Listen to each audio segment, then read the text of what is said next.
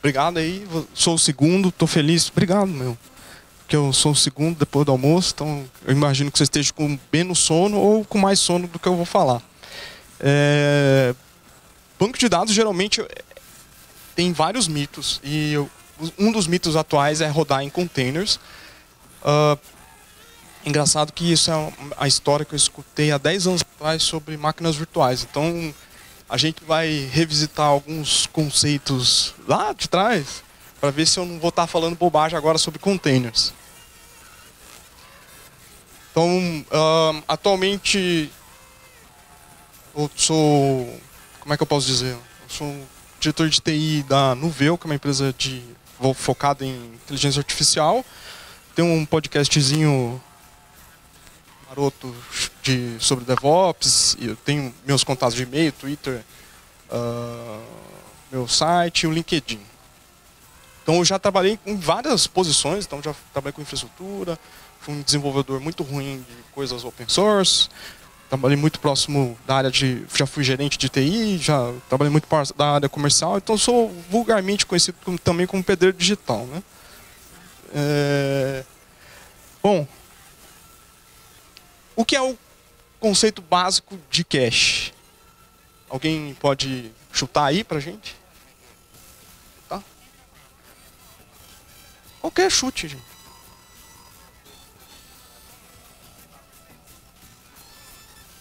Coisas pré-computadas para ser rápida, memória. Ger geralmente, é, basicamente, é você ter um. Vamos ver, só bota não.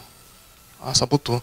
É, basicamente é você ter um, aquela informação ela replicada em outro ambiente que ela vai servir para ser consumida ou produzida, alterada, manipulada, enfim. Mas ela não está no, no estado onde estava, é onde ela é, foi originada, tipo storage ou banco de dados, whatever. E tradicionalmente, cache, quanto mais próximo, vamos ver se eu aprendi Quanto mais próximo do CPU, mais rápido ele é.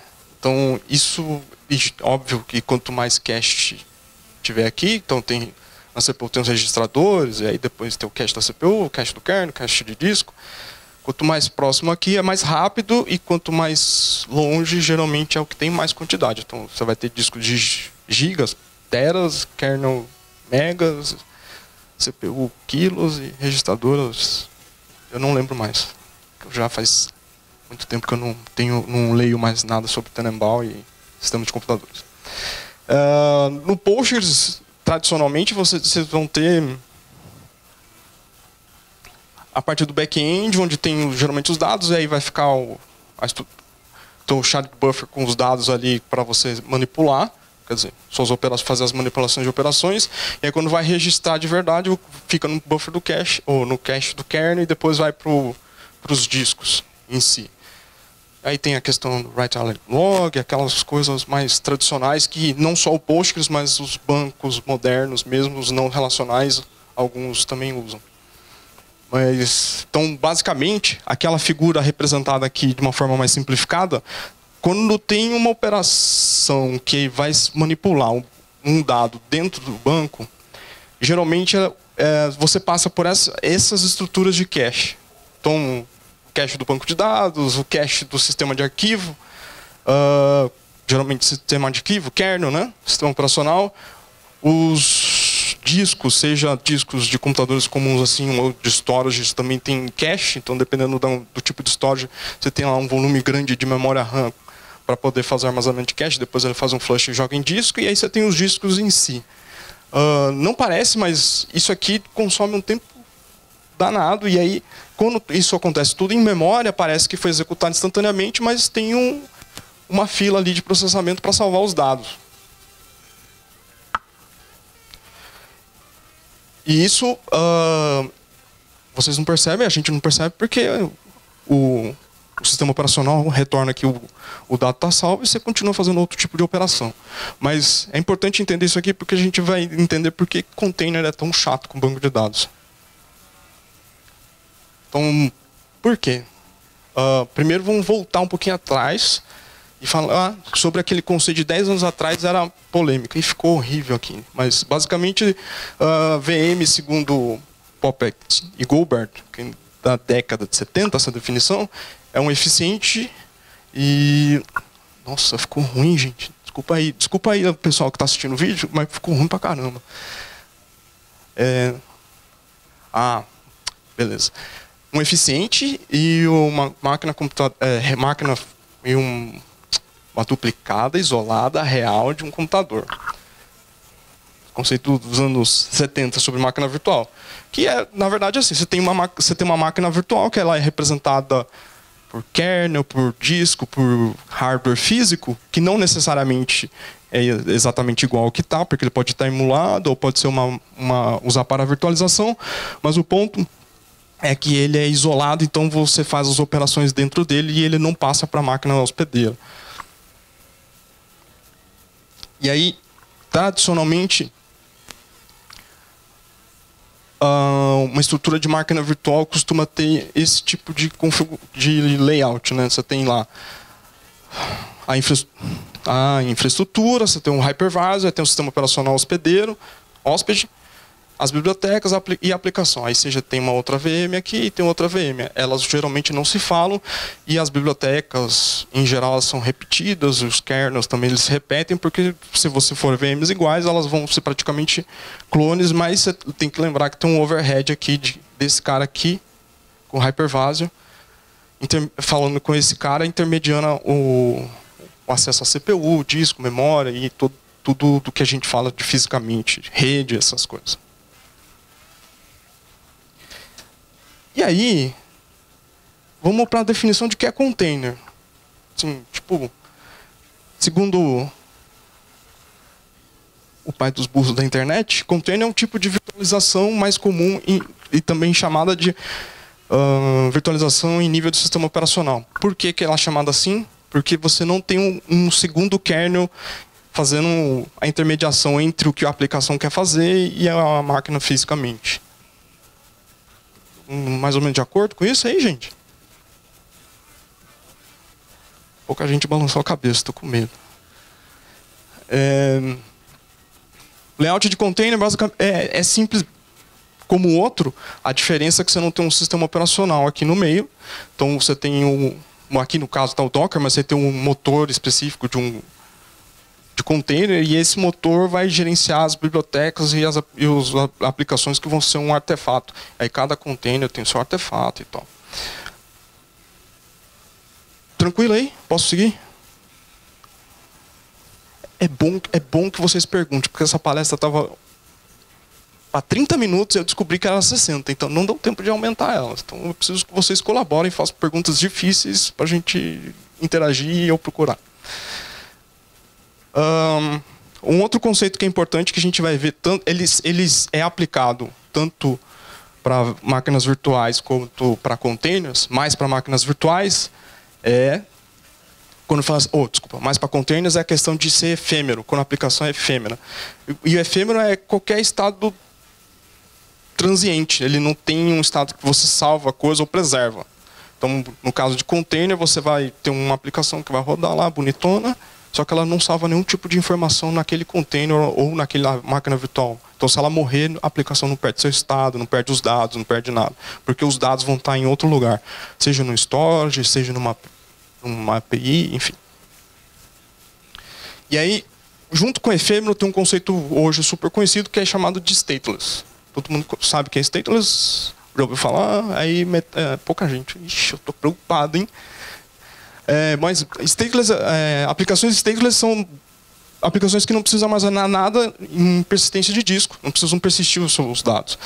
Elas, os dados da aplicação ficam armazenados em outro lugar, como já falado antes. E stateful são aplicações que precisam salvar dados localmente. Então, tradicionalmente são bancos de dados, são servidores, alguns tipos de servidores de imagem ou qualquer outro tipo que você precisa armazenar localmente e aquele dado não pode sair porque o custo de você manter aquele dado fora do, do teu máquina virtual, do teu container, ele é muito mais alto do que você manter ele ali perto. Então, geralmente a gente chama de stateful application. Droga. E nesses casos, você sempre vai ter um um para um, no sentido de que você não consegue pegar esse, esse, esse serviço, seja na máquina virtual em container, e replicar ele de forma fácil, acessando o mesmo tipo, mesmo volume de dados, a mesma partição, o mesmo disco, em vários pontos. Então, você geralmente vai ter sempre um, um para um. Então, é um, uma máquina virtual ou um container acessando uma partição de disco, ou um disco em si, e a outra não vai ter comunicação direta com essa. Mas por que, que eu estou enrolando com tudo isso? Em parte tem a ver também com esse cara aqui. Teoria do Cap, teorema do Cap que é conhecido assim, você nunca consegue ter nenhum desses três de forma é, razoavelmente boa ao mesmo tempo. Então você sempre tem que privilegiar a consistência ou tolerância, consistência à disponibilidade, a disponibilidade e tolerância. Você nunca consegue ter os três ao mesmo tempo. E isso tudo é, é porque uh, quando a gente fala, ah, mas container é fácil, é só subir, é porque é, é só subir. Mas depois quando a gente vai ver no dia a dia, tem essas coisas que todas elas implicam. Seja containers rodando Postgres, seja containers rodando qualquer outra coisa. E containers tem um negócio super cool que eles chamam de Union File System, que é um, basicamente um sistema de arquivo que permite a gente ir, ter arquivos e diretórios separados dentro do sistema, né? conhecido também como branches, parecido com GitHub. É, sem, e de forma transparente, você não enxerga essas diferenças, formando uma forma, um sistema de arquivo coerente, assim, único. Ah, um exemplo disso é, é a famosa camada de uh, as camadas de um, de um container rodando Docker. Container, um container rodando Docker, você tem lá uma camada de escrita, de leitura escrita, que é a última que está em execução, mas as outras que tem os passos de subir o, o container, então você tem lá, isso aqui por acaso é a base do container, e aqui tem alguns comandos que foram, foram rodados e instalado coisas, aqui é outros, e aqui é execução de fato. Uh, se você olhar lá no sistema de arquivo do, do, da máquina que está rodando um container, você vai ver que cada parte disso aqui está separado. Mas o, o, o, sistema de arquivo ele vai mostrar para a gente e pro, vai entregar para o sistema operacional e para a aplicação como se isso aqui fosse uma unidade só. Então, é uma, por exemplo, um pedaço, esse pedaço aqui tem a base, esse pedaço aqui vão supor tem uma Apache com um Tomcat, e esse outro pedaço aqui tem a aplicação, e esse aqui é só a execução. Isso é muito bom porque significa que você está gerando uma densidade de armazenamento em disco, né? Só que tem uma consequência ruim que significa que tem, você tem problema de leitura. Então, sistemas de arquivos com, essas, com esse tipo de característica, eles são muito ruins para escrita, perdão. E os containers principalmente os containers que são baseados em Docker. Então, se você vê os orquestradores de container, a maioria hoje ainda usa o Docker como motor. Você vai passar por um desses tipos aqui. O IFS Overlay FS e Overlay FS2, eles são os mais conhecidos. Eles são muito bons para leitura, só que quando você vai escrever neles é lento demais, porque lembra ele, ele tem ele tá fazendo ele tem lá várias partições virtuais, ele está mostrando, entregando para o sistema operacional fazer as operações de escritas de forma, em tese, única.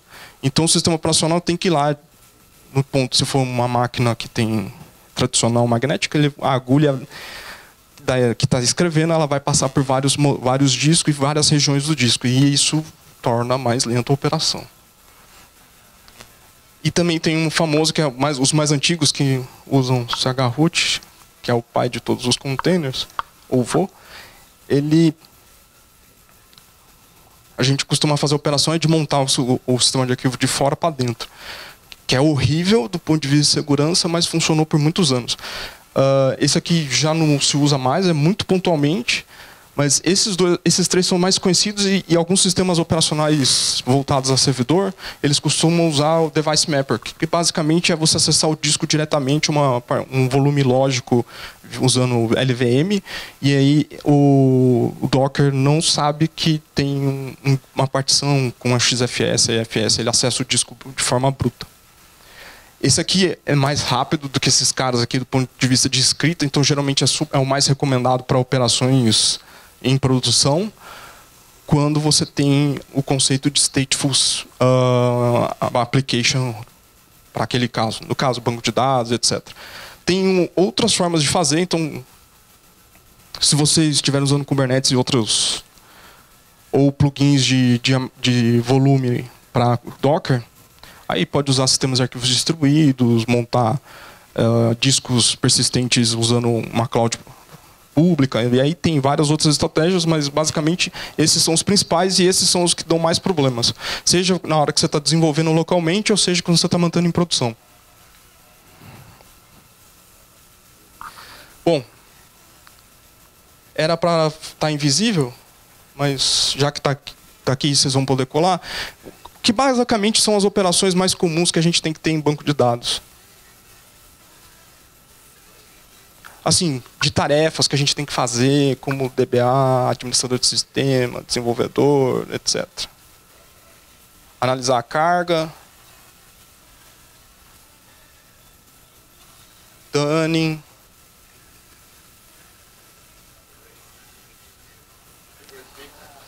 Né? Porque aquela estrutura que foi montada para um banco de dados e aquela massa de dados ao longo da história da empresa e do, da aplicação que está desenvolvida e o próprio banco que está lá alocado, ela vai sofrendo alterações, que é normal. É porque mudou o negócio, porque atualizou alguma regra, enfim. É, faz parte do ciclo de vida de qualquer empresa. E aí, quando tem essas questões relacionadas à segurança, ou, por exemplo, você tem um volume de dados muito grande, aí você precisa fazer sanitização do banco, jogar as coisas antigas em outro lugar, enfim. Tem várias operações que são bem chatas de fazer. Não são operações legais, prazerosas. Quer dizer, eu acho, né? Não sei. Uh, mas e elas são ruins, seja se você está usando uma máquina física, seja se você está usando uma máquina virtual, ou seja se você está usando container. São coisas bem chatas de fazer. Então, pensando assim, ah, mas para fazer operação em sistema operacional, ou fazer, fazer essas coisas em sistema operacional, geralmente você tem que manipular e fazer coisas do tipo mexer no barra Unix, né? Barra proc, no barra sys, mexer no limits do sistema operacional, ou mexer no, na forma como a memória é alocada para swap, e N outras coisas que é obrigado, a gente é obrigado a fazer para que o banco de dados tenha uma melhor performance. Isso nas três situações. Então, não é porque subiu no container quer dizer que não tem que fazer isso. Tem que fazer.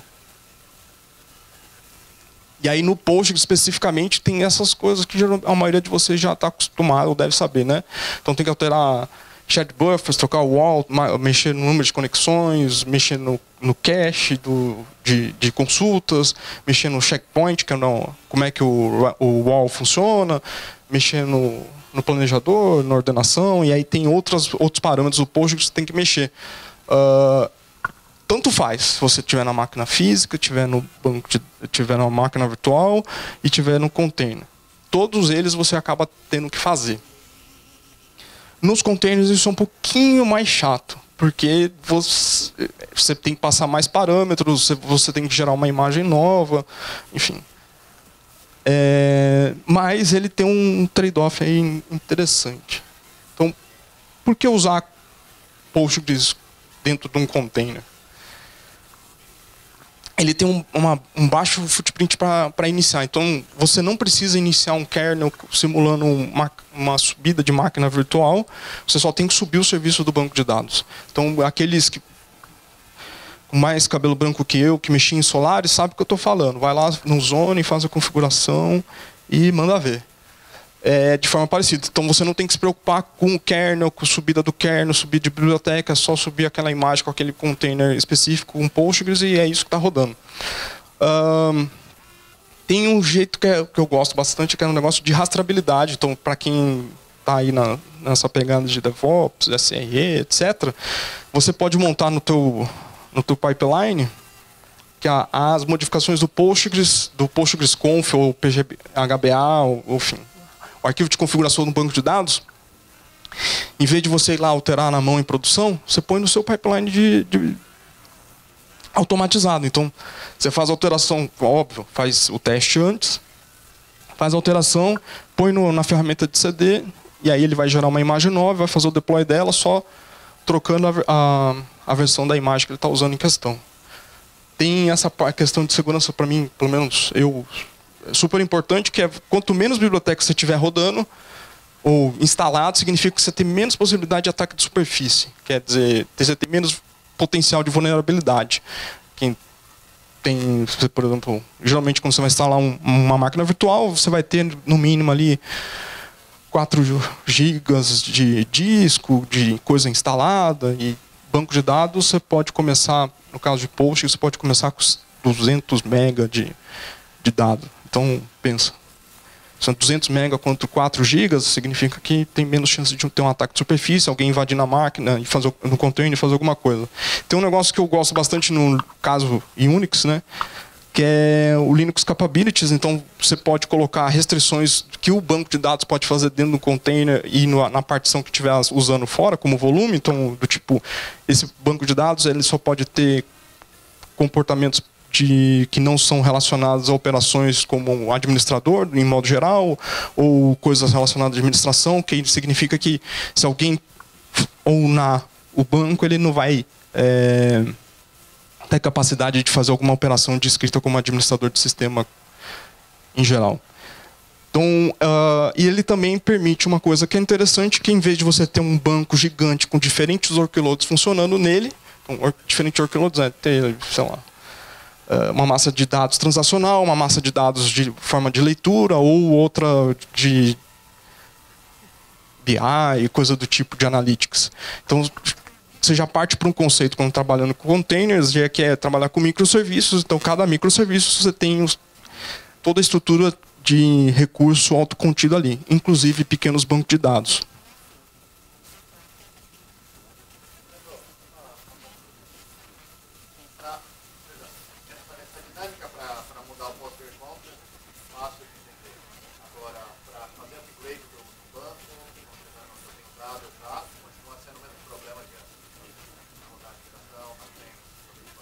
É, vou repetir para a galera que está lá no, no, no vai assistir depois.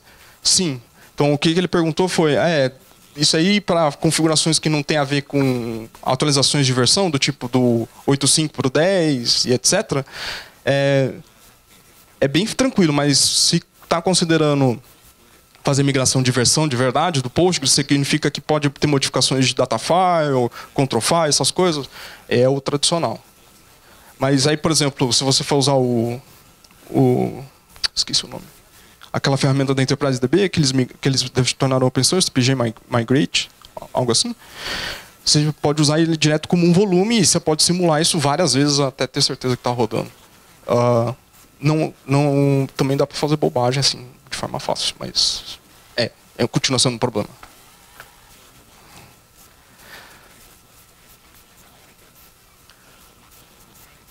Então, é, um pouco de. Tipo. É coisas triviais que vocês. Putz, cara, você está falando várias coisas que são. É, então. É porque de fato não muda muito no geral, mas algumas dicas que eu já peguei aí, eu já passei que, em sobrevivência de banco de dados em container. Então, você está seguindo a ideia de microserviço? Não, mantenha. Se você tem um banco de dados com diferentes workloads, com diferentes aplicações, não põe em container. Você vai arrumar um problema pior do que você já tem. Então, tem uma técnica de desenvolvimento de software muito bacana chamada strangle, ou estrangulamento. Se essa técnica estiver funcionando, você pode pegar e desacoplar aquela, aquela, é, aquele banco de dados específico que está no Postgres ou em qualquer outro banco, que vai se tornar uma aplicação, você arranca os dados para para fora e põe alocado como um microserviço. Um, geralmente, quando o pessoal está trabalhando com orquestração de containers e tem vários containers funcionando, um pro, uh, acessando um para o outro, tem que tomar um cuidado com a questão de rede, porque é muito fácil você abrir, é, abrir o acesso do banco para aquela classe de rede especificamente e aí você esquece que pode ter uma aplicação que não é para ter acesso, mas ela acaba entrando dentro do teu banco de dados. Uma coisa que é super ruim rodar, olhar dentro de container é log. Então, por padrão, os logs eles vai para stdout, para a saída padrão do, do, do, sistema operacional. E aí, uh, seja o Kubernetes, Docker e os outros, você vai ter que vai ter que usar uma ferramentinha ou na configuração do container mandando para um, um serviço de log do tipo Prometheus, Elasticsearch, Kibana, etc. Porque olhar log dentro de banco é horrível. E se você tentar armazenar o log dentro do banco de dados, uma hora o container vai estourar. Não é, não é legal, não vale a pena. bom, então, os clusters para container, então, é aquela galera que precisa, trabalha com Postgres, MySQL, com Master Slave ou Master Master e Stream Replication, banco, é, com containers são mais difíceis de fazer. Tem alguns forks aí, um projetos que estão sobre Postgres, que eu conheço, ou no MySQL é um pouco mais tranquilo, mas é, sobre Postgres que tentam tornar isso mais fácil, mas não é uma atividade tão trivial fazer trabalhar com cluster de Postgres usando containers. Dá, dá mais trabalho, então depende do, do da, da, capacidade dos profissionais que estão ali, eles têm que ter um nível avançado de sistema operacional e conceito de cluster para poder fazer isso. Não, não é uma coisa trivial. E lembrando que uh, bancos de dados, de, modo geral, tem, consome muito CPU, I/O e memória, e se você tiver aplicações que são concorrentes em alguma parte disso que está rodando naquela mesma máquina que tem, tem um container, lembra que eles vão disputar espaço. E provavelmente, se não colocar nenhum recurso de limitação, o Postgres vai acabar consumindo e detonando a outra máquina, outro container. Ou, e aí, seja em qualquer orquestrador de container, ele vai ter esse conceito aqui que é super importante tem a ver com um stateful application, de modo ou no Kubernetes vai chamar de stateful set. Então é a questão de volumes. Então, volumes basicamente são mecanismos para persistir o dado gerado ou usado por um container. Simples assim. Só que isso, na prática, é mais chato, mais complexo, mais. É, mas, é, então você vai ter um container e junto com o container você vai montar uma partição por linha de comando ou por uma configuração de arquivo YAML do orquestrador de container que vocês usam, dizendo que aquele volume pertence àquele, àquele banco de dados com aquele serviço e aquele volume vai poder ser usar um, um, um disco persistente da AWS, da Azure, do Google ou Bare Metal, enfim, aí depende de cada cada, cada idiosincrasia do orquestrador de container, mas num, o, você sempre tem que pensar que os dados vão ter que ficar em volumes e esses volumes sempre vão estar usando, se está fora do, do container em si. Ixi, exemplo. Zoadinho, né, gente? Mas eu tenho uma versão melhorzinha dele aqui. Isso aqui é um arquivo do, do Docker Compose, que também funciona no Docker Swarm. A maioria dos orquestradores de containers tem uma sintaxe parecida com essa que está aqui. Deixa eu mostrar aqui.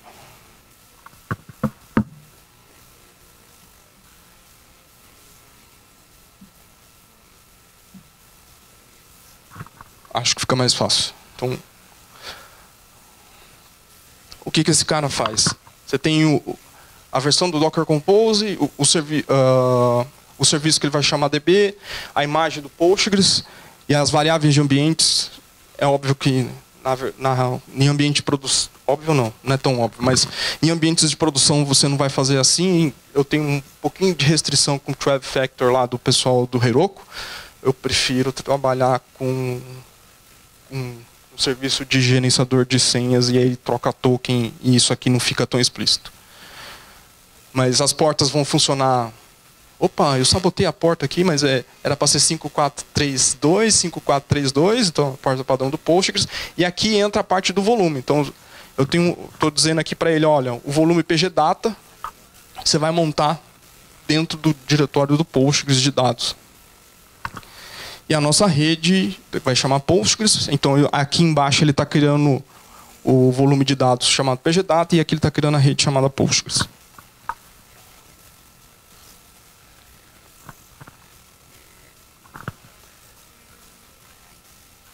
E aí vou fazer a parte mais difícil, que talvez não funcione, que dê pau e vocês vão ficar tudo bravo, que é uma demo conceitual isso aqui vocês não rodam em produção, vocês vão usar um Docker Swarm, um Kubernetes um, um Mesos da vida para fazer, mas a essência é o que está aqui.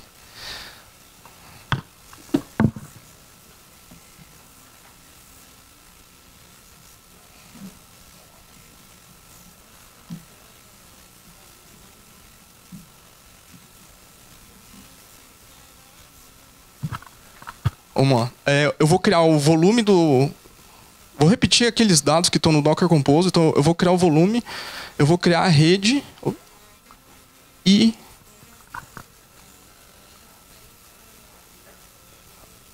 Tem um comando a mais aqui. E aí a gente, eu vou passar esses parâmetros aqui, vou conversar com vocês um pouquinho sobre eles.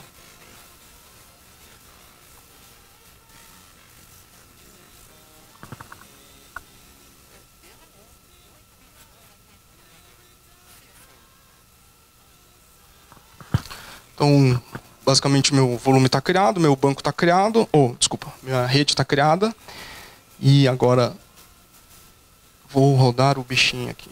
Mas antes, antes disso, deixa eu mostrar para vocês.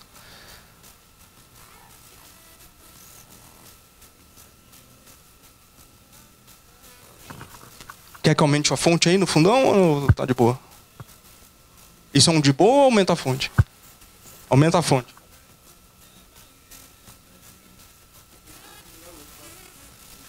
Diminui aí, cara. O mesmo problema nessa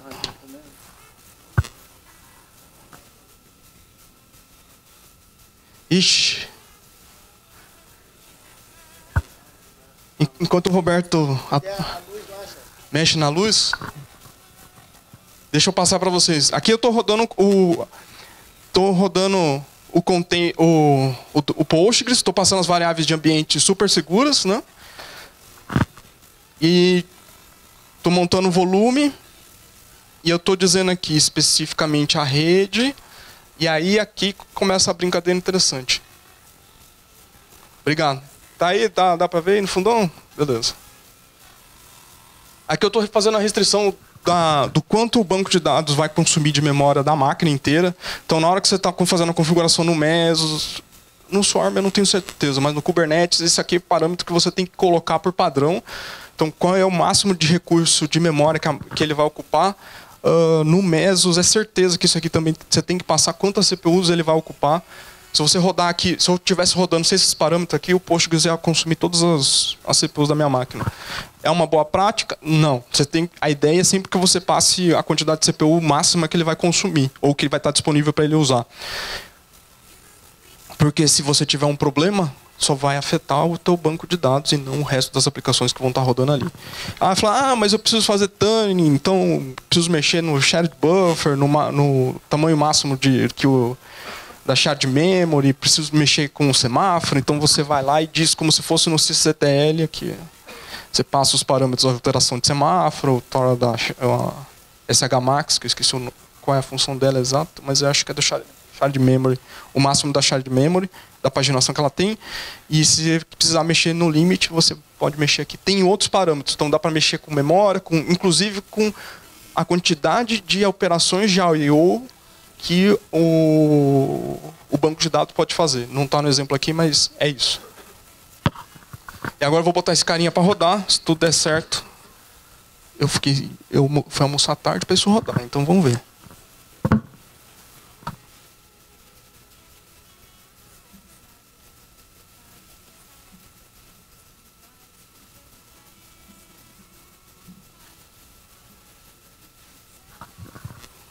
Banco está rodando.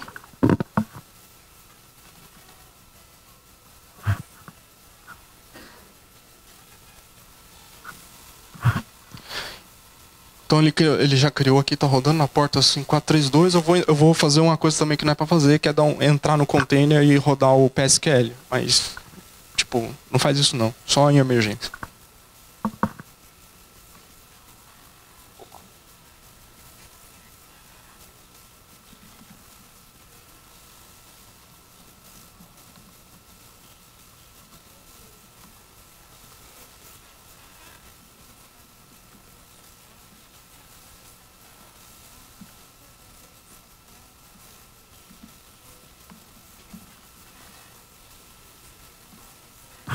Bom, está criado.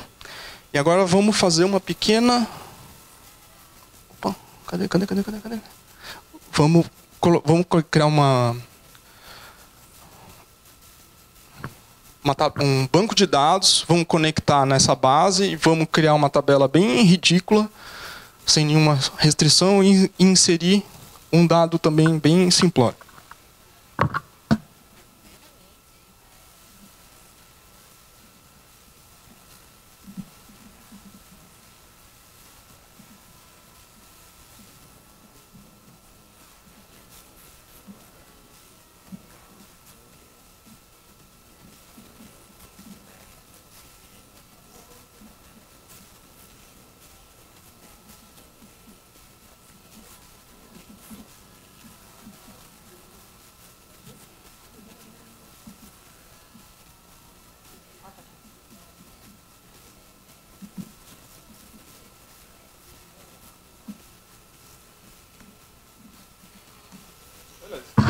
Beleza, então se eu der um select aqui, eu vou ver um registro lá.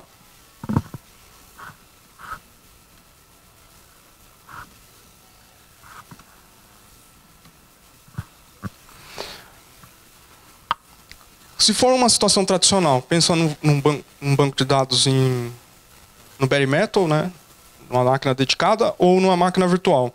Se eu, se eu derrubar o serviço do Postgres agora, significa que ele, na hora de voltar, ele vai olhar o, o, o, o o write align log, e vai processar os dados que estão lá, e aí vai, de fato, subir o banco de dados. Mas nesse caso eu não vou precisar, então eu vou enfiar o dedão e o banco vai voltar. Espero.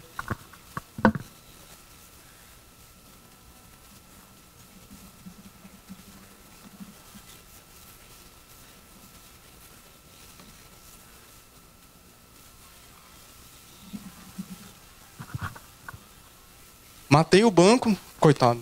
E não tem mais nada no ar.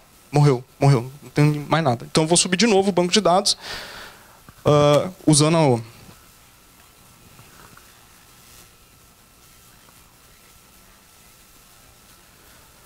Lembrando que ele vai montar de novo esse cara aqui, e aí, em tese, eu vou ver os dados lá. Ou vocês querem que eu monte sem vocês verem a mágica? Não, né? Vamos direto.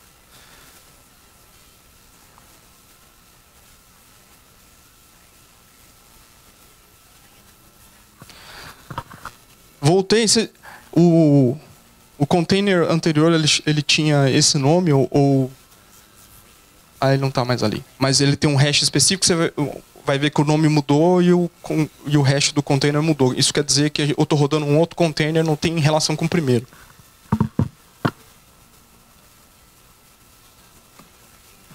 Vai ver que esse aqui chama Beautiful Yonet. Não sei quem é Yonet, mas deve ser um matemático famoso.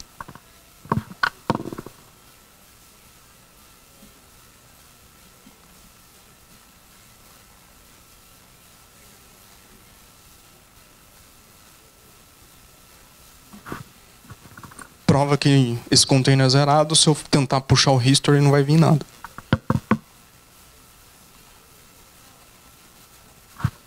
Agora conectar no banco de, de novo e torcer para o meu registrinho estar tá lá.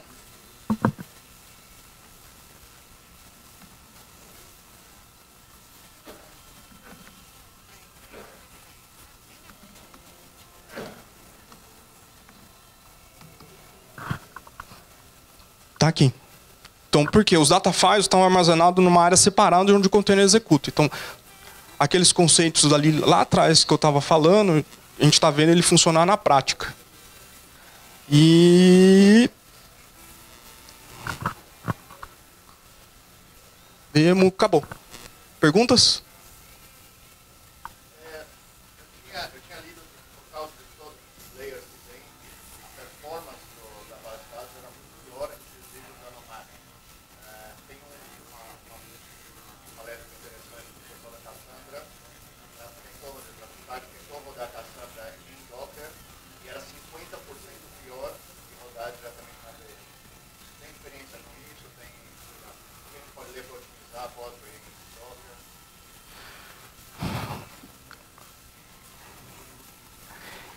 Olha, eu nas situações mais extremas eu montei o volume de fora para dentro. Então tinha um disco de fora e eu acabei alocando ele para dentro. Então eu fazia a é, é, não vai conseguir rodar aqui, mas então eu, um, usei o bind, fiz um montei com bind e puxei, puxei a partição de fora para dentro para poder rodar.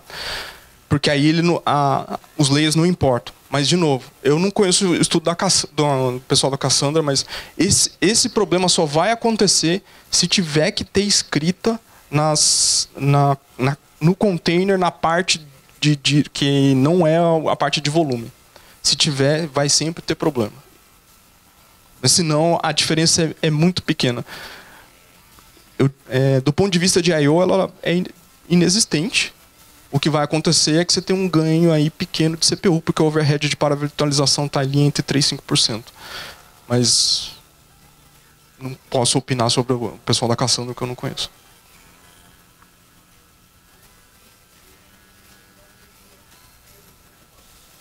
Não. Desde que os dados onde ele está escrevendo não fique dentro do container, mas num volume separado.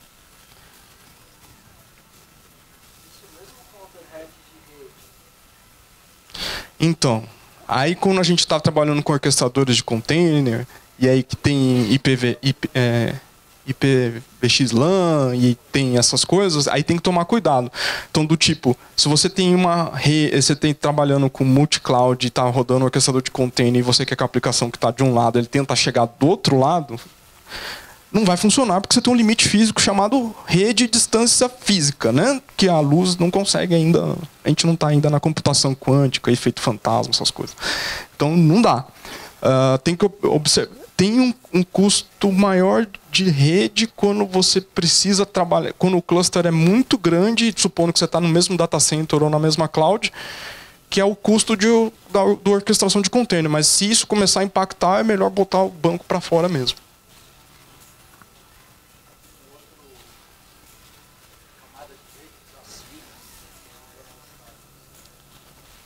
Hum, eu não, não usei. Mas toda vez que tem alguma coisa de SDN envolvido em a galera que, tá, é, é, que tem que dar manutenção, tem que fazer troubleshoot, apanha bastante. Porque SDN já não é um negócio muito trivial, apesar de parecer. É, e orquestração de containers usa muito o conceito de SDN, IPVX-LAN, IP, é, IPv Switch, essas coisas. Uh, precisa instrumentar bastante o teu ambiente para poder detectar uma falha ou detectar que um problema não é exatamente é o banco, é, é alguma coisa no caminho.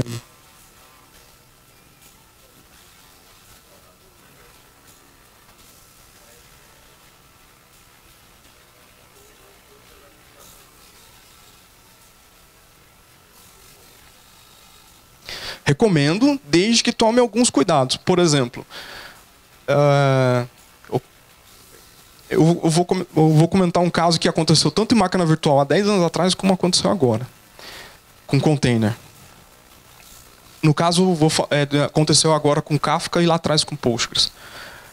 Os da, onde ficava armazenados o write all log, tanto dos do, os logs binários dos dois, estava numa partição de rede. Então, estava num sistema de arquivo distribuído em rede. Só que esse sistema de arquivo distribuído em rede, ele, ele não estava com isolamento. Então, significava que, além do, do banco de dados, outras aplicações estavam trafegando dados ali. E aí, o que, que acontecia?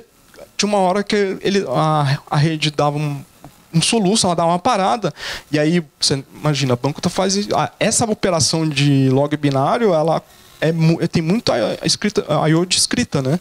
E aí o que aconteceu? O banco, os o, stream, o Kafka parava a gente tinha que reiniciar os serviços, aí perdia todas as filas. E no Postgres, lá atrás, a mesma situação. No caso, eram máquinas virtuais e tinha uma partição de rede também. E aí a, essa partição de rede tinha tráfego de aplicação, outras aplicações tendo. E aí quando teve um pico lá de rede, o que aconteceu foi que o banco de dados corrompeu. Mais pergunta, galera?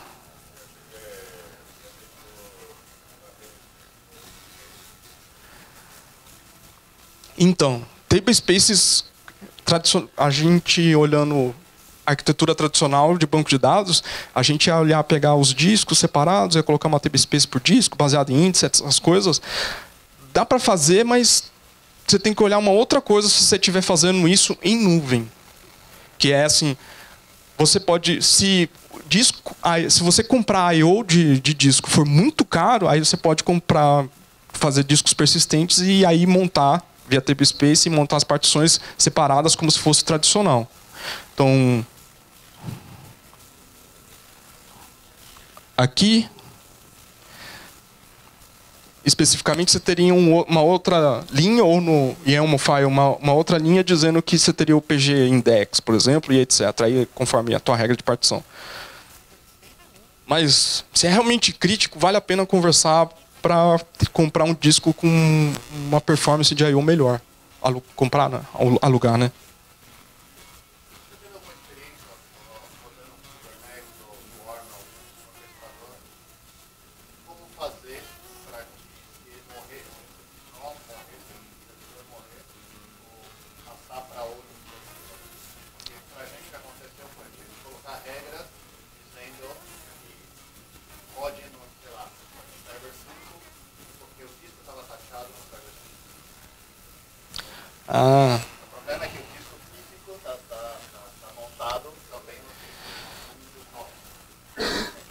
Isso, é isso é um. No Docker Swarm isso é muito ruim de resolver, mas no Kubernetes ele vai vai, vai atachar o, o, o disco em outra máquina e aí vai puxar e vai funcionar. É, e aí você, vai, você põe a restrição para aquele aquela unidade lógica de, do cluster, né? vou falando do Mesos, que é o, você faz uma constraint dizendo que aquele pool de máquinas pode montar aquele, aquele, aquele UID de disco.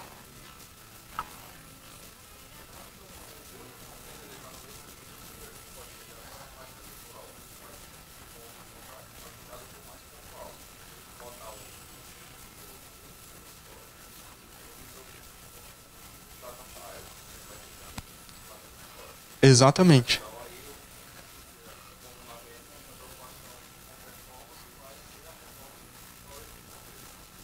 É isso aí.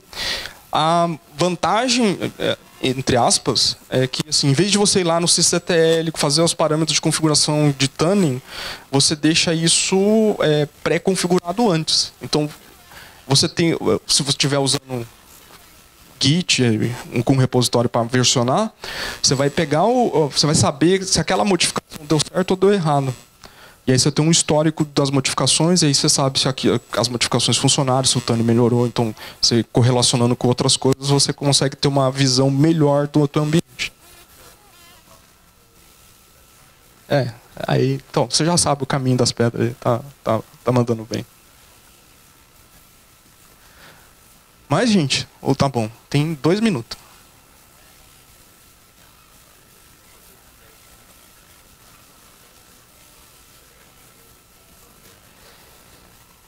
Eu não, mas eu acho que você tem que perguntar para o Iago Nobre que ele vai falar sobre Kubernetes e Postgres. Não sei se é hoje ou amanhã. E ele, ele manja muito mais do que eu de Kubernetes. Ele, com certeza ele sabe responder.